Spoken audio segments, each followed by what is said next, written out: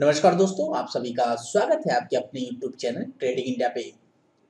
दोस्तों, आज के इस वीडियो में हम देखेंगे निफ्टी फिफ्टी का स्ट्रॉन्ग सपोर्ट और रेजिस्टेंस 4 दिसंबर 2020 के लिए क्या होगा?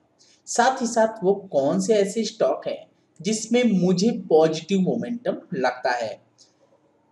सो so, सेशन को स्टार्ट करने से पहले जो लोग इस चैनल पे नए हैं चैनल को सब्सक्राइब करें साथ ही साथ बेल आइकन को प्रेस कर लें जिससे कि नए वीडियोस की नोटिफिकेशन आपको मिलती रहे। दोस्तों वीडियोस आप लोग देखते नहीं हो शेयर नहीं करते हो तो रिक्वेस्ट है कि आप शेयर कीजिए ज़्यादा से ज़्यादा। और सेशन को स्टार्ट करने से पहले फ्रेंड्स सबसे पहले बात करते हैं उन स्टॉक की जो कि आज की डेट के लिए दिया गया था। साथ ही साथ जो निफ्टी की एनालाइज की गई थी वो निफ्टी के एनालाइज के अकॉर्डिंग मार्केट कहाँ पे टिकता है? आज के दिन पे टिका था। सो so, सबसे पहले बात करते हैं निफ्टी फिफ्टी की दोस्तों। मैंने आपसे एक चीज़ बोला था जब मार्केट यहाँ पे क्लोजिंग हो चुकी थी और हमने आपसे यही बोला था कि 130 के ऊपर 13,130 के ऊपर स्टॉक जाएगा एक पॉजिटिव मोमेंटम मिलेगा और 13,200 का लेवल दोस्तों हमें लगता है इंपॉर्टेंट लेवल इसको ब्रेक करेगा। देन सो ऑन वो चलता चला जाएगा। लेकिन फ्रेंड्स आप देख रहे हैं कि गैप अप ओपनिंग हुआ जो कि हुआ 13,215 और स्टॉक ने 13,200 के ऊपर सस्टेन भी नहीं किया और बाद में आके वो 13,130 के आसपास अपने आप को सस्टेन कर, करने लगा। सो so, सपोर्ट जो था तेरह हज़ार पंद्रह वहाँ तक तो आया नहीं वो वहीं पे जो हमारा रेजिस्टेंस था तेरह हज़ार एक सौ तीस जो कि फ़र्स्ट रेजिस्टेंस था जिन लोगों ने वीडियोस देखा होगा, उनको पता होगा, जो लोग नहीं देखे हैं, वो लोग वीडियोस को देखा करें दोस्तों। और यहाँ पे 130 को उसने सपोर्ट बिल्डअप कर लिया गैप अप होने के बाद राइट बात करते हैं दोस्तों स्टॉक की, और हमने आपको दो स्टॉक दिया था, जिसमें टीसीएस पहला स्टॉक था। फ्रेंड्स मैंने आपको बोला था कि 2743 के ऊपर 2743 जो कि रेजिस्टेंस था, बाद में इसने सपोर्ट कन्वर्ट ये कर चुका था यहाँ पे। इस सेशन में आप देख सकते हैं सपोर्ट कन्वर्ट कर चुका था। मार्केट और पहला जो मेरा टारगेट ही था, वो था 2770 का। और आप देख लीजिए मार्केट जो गैप अप खुला टीसीएस भी गैप अप खुला 2770 के टारगेट के पास खुला और देन फिर क्या हुआ? हमने आपको बोला था फ्रेंड्स यहाँ पे 2728 के नीचे जाएगा अगर तो 27 के 10 के 2710 2728 के अगर नीचे जाता है तो 2710 के आसपास कुछ जा सकता है जो स्ट्रॉन्ग लेवल मुझे लग रहा है। सो so, देख लीजिए दोस्तों जिस भी लेवल को हमने दिया हुआ है जिसमें 2743 भी था पर्टिकुलर लेवल देखिए दोस्तों ये आपका सस्टेन करते हुए नीचे की तरफ़ मूव किया।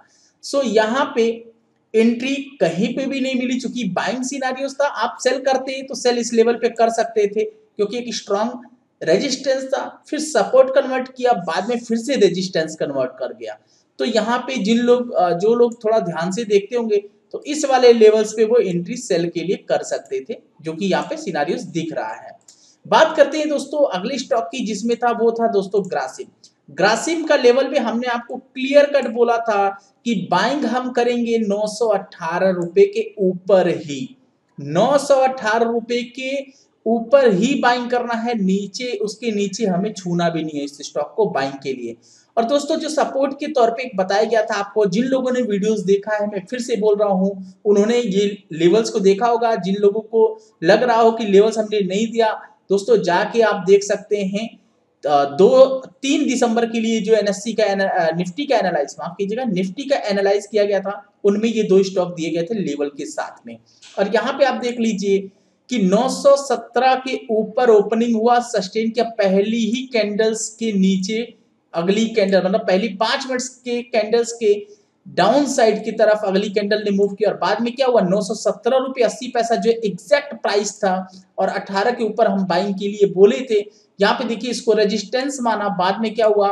911 पहला सपोर्ट देखिए दोस्तों, ये सपोर्ट के बाद बाद में मैंने नौ सौ पाँच रुपए का अगला सपोर्ट बताया था। कुछ उसके नियर बाई लेवल तक तो नहीं गया नियर बाई तक गया दोस्तों। और वहाँ पे फिर आके वो नौ सौ ग्यारह रुपए जो स्ट्रॉन्ग सपोर्ट था, वो सपोर्ट पे अपने आप को सस्टेन किया। तो ये तो रही दोस्तों, तीन दिसंबर के लिए जो स्टॉक आपको दिए गए थे और निफ्टी फिफ्टी का एनालाइज किया गया था, वो मैंने बात किया। अब बात करते हैं चार दिसंबर यानी फोर्थ दिसंबर 2020 के लिए क्या निफ्टी के इंपॉर्टेंस लेवल है और कौन सा ऐसा स्टॉक है जिसमें मुझे मोमेंटम पॉजिटिव दिख रहे हैं। तो चलिए देखते हैं। तो दोस्तों, यहाँ पे चार दिसंबर 2020 के लिए जो इम्पोर्टेंट लेवल मुझे नज़र आ रहा है, वो कुछ इस प्रकार से है। तेरह हज़ार एक सौ सत्तावन। मोटा मोटी में देखा जाए मतलब राउंड फिगर में कितने लोग बोल रहे हैं कि आपका जो वर्ड है मोटा मोटी आप बोलते हो, वो बहुत अच्छा है, मुझे बहुत पसंद आया। तो एक चीज़ मैं बता दूँ कि दोस्तों मोटा मोटी एक्चुअली देसी लैंग्वेज है यहाँ हमारे साइड का, और इसका मतलब होता है राउंड फिगर लगभग का, ठीक है? तो आप इसको थोड़ा सा वैसा नहीं लीजिएगा। तो यहाँ पे तेरह हज़ार एक सौ सत्तावन का इम्पोर्टेंट रजिस्टेंस नज़र आ रहा है, और एक राउंड फिगर अगर नंबर आप ले सकते हैं तो तेरह हज़ार एक सौ साठ thirteen thousand one hundred and sixty बात की जाए दूसरे सपो रेजिस्टेंस की, माफ़ कीजिएगा तो थर्टीन थाउज़ेंड टू हंड्रेड तेरह हज़ार दो सौ, जो कि ऑलरेडी आपको पता है कि तेरह हज़ार दो सौ पे एक स्ट्रॉन्ग रेजिस्टेंस अभी भी बरकरार है। बात की जाए दोस्तों सपोर्ट की तरफ़ तो तेरह हज़ार एक सौ पंद्रह, तेरह हज़ार एक सौ पंद्रह का लेवल जो है दोस्तों, वो अभी भी स्ट्रॉन्ग सपोर्ट के तौर पे खड़ा है।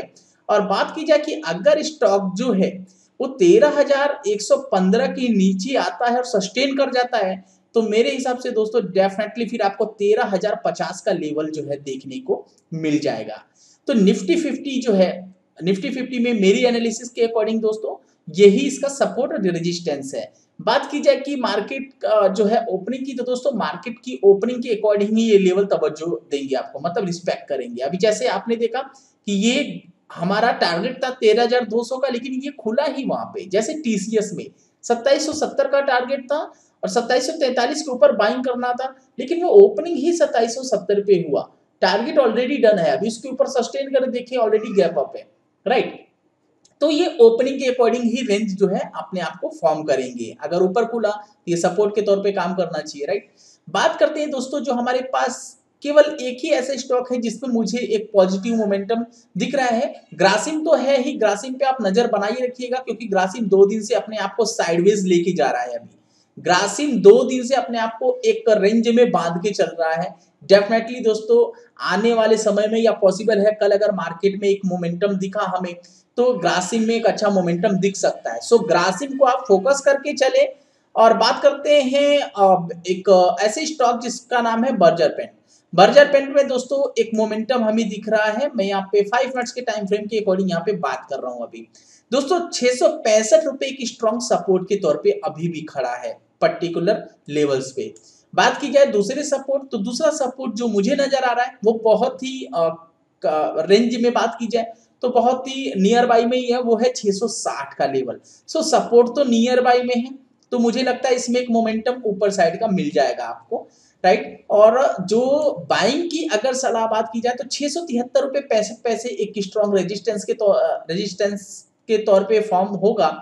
और यहाँ पे बाइंग की अगर बात की जाए तो छह सौ पचहत्तर, ध्यान रखिएगा। Six seven five six seven five के ऊपर अगर प्राइस अपने आप को मूव करके सस्टेन करता, आप यहाँ पे एंट्री कर सकते हैं। जो भी मेथड होगा एंट्री का मेथड आपका खुद का होगा। मैं एंट्री का मेथड देता ही नहीं हूँ। राइट तो यहाँ पे आप छह सौ पचहत्तर के ऊपर बाइंग की आ, सोच रख सकते हैं दोस्तों। तो ये है हमारे हमारे पास जो आज की डेट में केवल बर्जर पेंट ही है दोस्तों ग्रासिम पे ऑलरेडी मैंने बता दिया कि ग्रासिम पे आप जो है नज़र बना के रखिएगा। मैं भले ही नहीं दे रहा हूँ ऑलरेडी मैंने दो तीन दिन दे रखा है। अभी भी मेरा पॉइंट आप उसमें बाइंग का है और उसमें मार्केट थोड़ा सा भी सस्टेन करेगा वो बहुत तेज़ी से निकलेगा फ्रेंड्स राइट तो होप सो दोस्तों, वीडियो आपको पसंद आया होगा, लेवल भी समझ में आ गया होगा। वीडियो पसंद आया, वीडियो को लाइक कीजिए शेयर कीजिए कमेंट कीजिए और अपना प्यार दीजिए। मिलते हैं दोस्तों नेक्स्ट वीडियो में नए कुछ इन्फॉर्मेशन के साथ, तब तक के लिए बाय